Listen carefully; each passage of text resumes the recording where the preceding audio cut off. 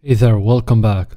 In this video I'm going to show you how you can scrape a simple website and how fast you can do it once you have some strong basics of scraping with Node.js.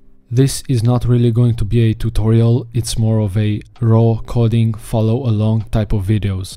And I just want to mention that I also have a great course that will teach you everything you want to know when you're getting into scraping for which I'm going to link a special coupon below just for the people who watch from YouTube at a very high discount.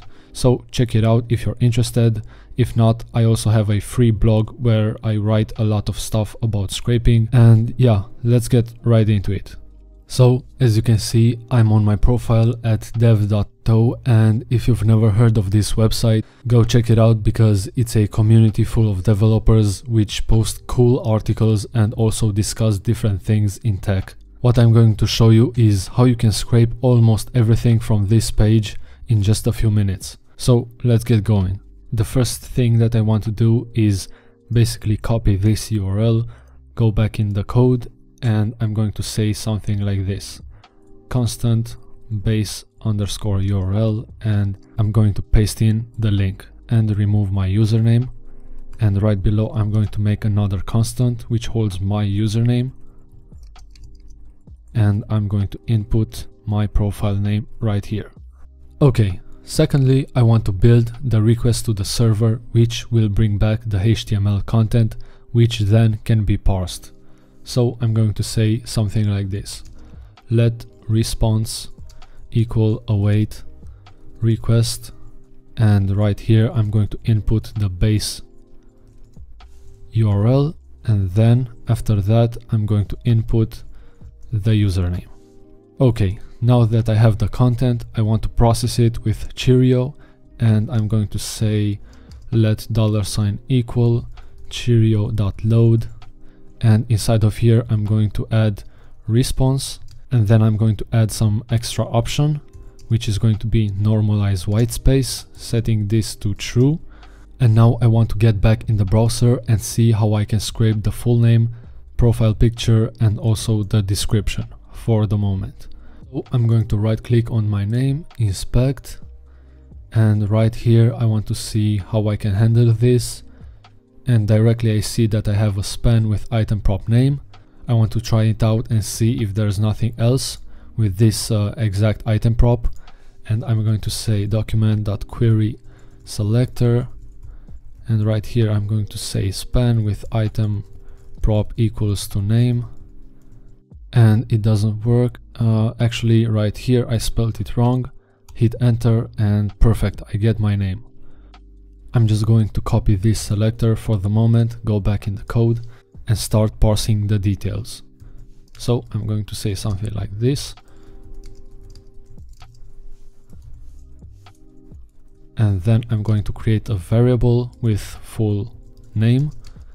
And right here I'm going to make use of the Cheerio library and I'm going to paste in this selector and also then I want to get the text and trim it.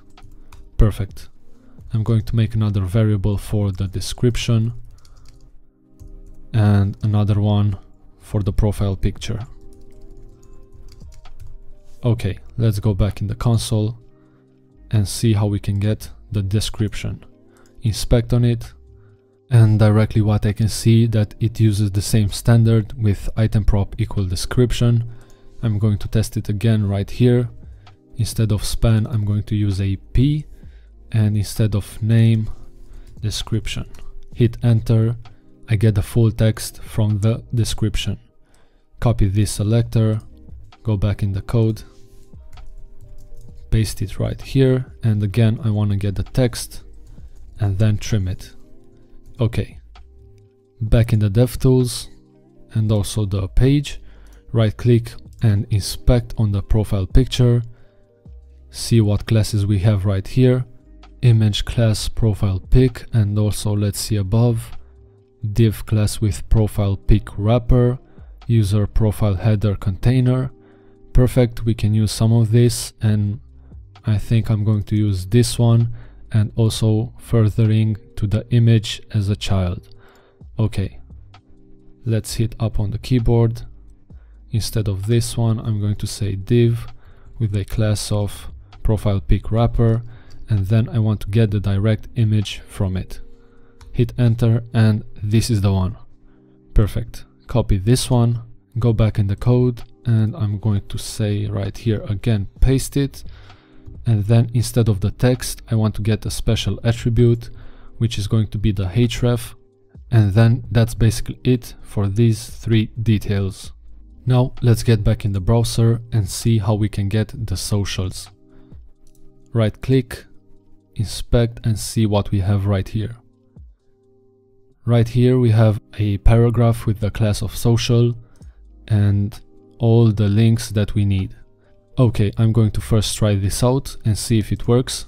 Hit up on the keyboard and right here paragraph with a class of social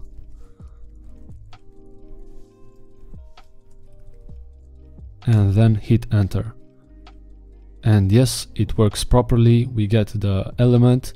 And with this being said I'm going to copy this uh, selector. And I'm going to go back in the code. I'm going to say something like this. Parsing socials. Right here I'm going to create an array. Let socials equal. This array is basically going to contain all the links of the socials and now I want to basically do this paste right here and then I'm going to iterate over each of the A elements. So I'm going to make sure that I attribute this to a child and then right here I use the each function and I'm going to get the index and also the element fat arrow function. Right here in order to get the link I'm going to do something like this. Let url equals and I'm going to make use of the element and then I'm going to get the attribute which is going to be href. And now I want to push it onto the socials array just like this. Social push url looking pretty nice. And now I'm going to get back in the page and I want to get this and I want to get these details. Let's see how we get inspect and of course we're going to have key value pairs. And let's see what we got. We're going to use the same method as before. And if class user metadata details inner perfect. I'm going to copy this go back right here paste it copy this uh, code paste it again right here also I'm going to make another variable called details which is going to be an object and also cut this one and paste it right here. And instead of a elements I want to get divs which are the class of row as I believe. Let's see. Yes row row row. And right here I'm going to say let key let value element okay let's see how we can get them. We are in the row and then we have a class of key and then we have a class of value. Pretty straightforward and easy to do. Find div with the class of key or we can say something like dot key and then I'm going to get the text and trim it. And I'm going to do the same for the value but instead of key I'm going to get the value. Okay instead of pushing into an array I'm going to say details key equals value. Perfect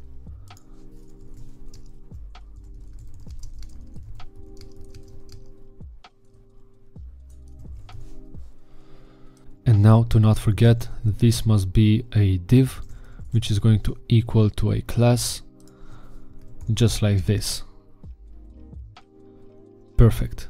Now let's go back in the page and let's see what we can scrape. Now let's say we want to get the statistics, right click, see what we have right here, div class sidebar data and also widget right here which is the skills. Okay so we have sidebar data with a bunch of divs. Okay we're going to make an array of this and see what we can do. Copy this one go back in the code and we're basically going to do the same thing. Parse statistics. And guys as you can see this website is pretty straightforward to scrape they have such cool namings for their classes. Perfect for scraping. Right here I'm going to say statistics equal to an array because we are going to have an array of strings and basically do the same thing. Div with a class equal to this one and then we want to get the divs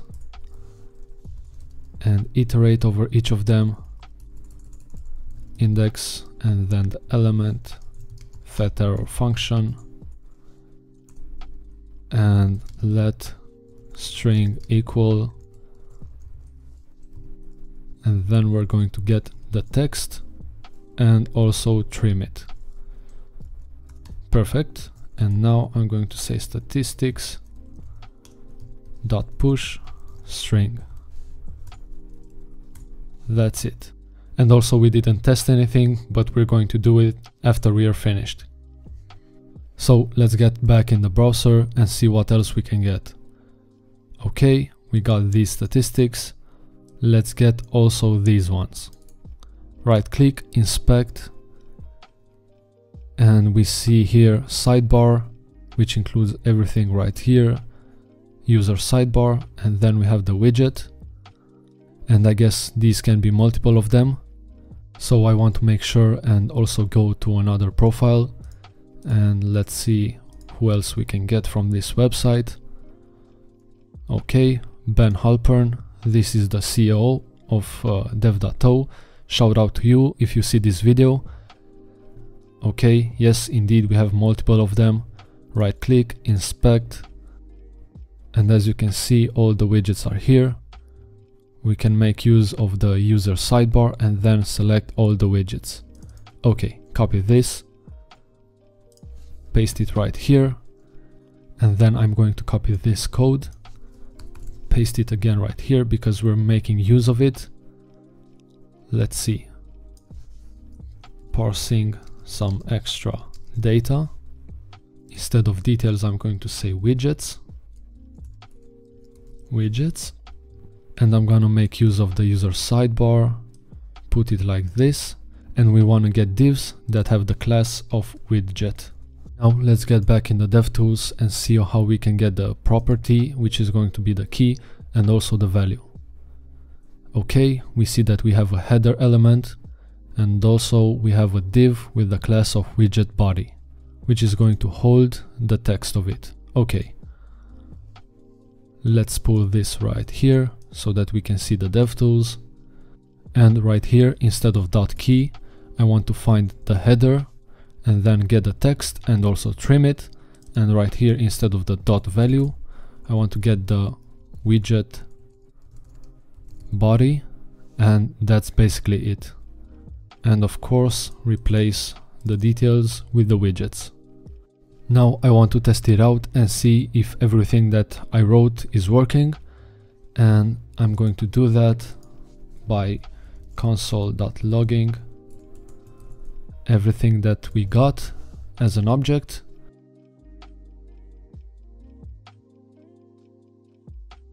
Debugger just so that it stops right here so we have access. And I'm going to start it. Perfect. It stopped right here which means we don't have any error. I'm going to open up the debugger console make it a bit more larger and expand on the object. Description, details, Romania of course works nice, full name, profile picture we get undefined which means something is not right. We're going to check it right now. Socials, all the socials right here, statistics, perfect, widgets, skills, okay, looks pretty nice only thing we need to check is the profile picture. I'm going to close the run, pull down right here and see what we got.